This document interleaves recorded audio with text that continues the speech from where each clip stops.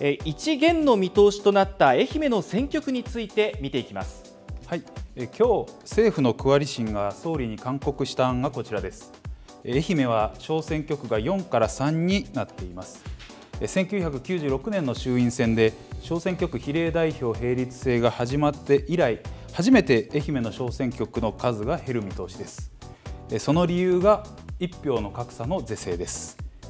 愛媛選挙区は具体的にどのように変わるんでしょうか？はい、えー、去年夏に行われた前回の衆院選の区割りがこちらです。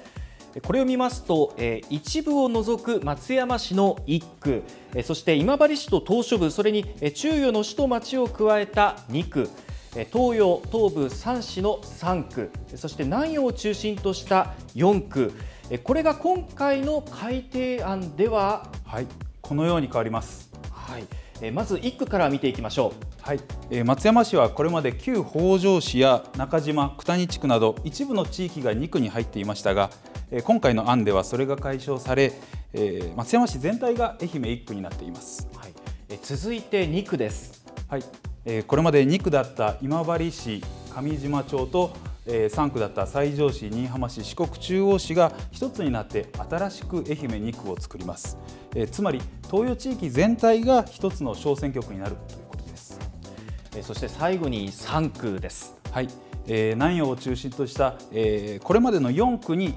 新たに、えー、これまでに2区に入っていた中予の東温市、戸部町、正木町が、えー、新たに加わって愛媛3区となる見通しです。この新しい区割り案なんですけれども今後国会で審議されて、え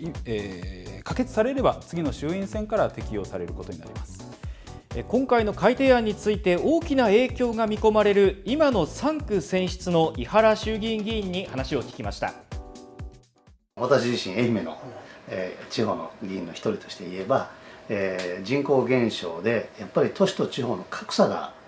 一番言われててその格差のえー、厳しい方が地方なのでねそこからの、えー、国政への国会議員が減っていくっていうことはやはり懸念はあります。しかしまあこの勧告については、えー、十分重く受け止めていかなければならないと、まあ、こういうふうに思ってます。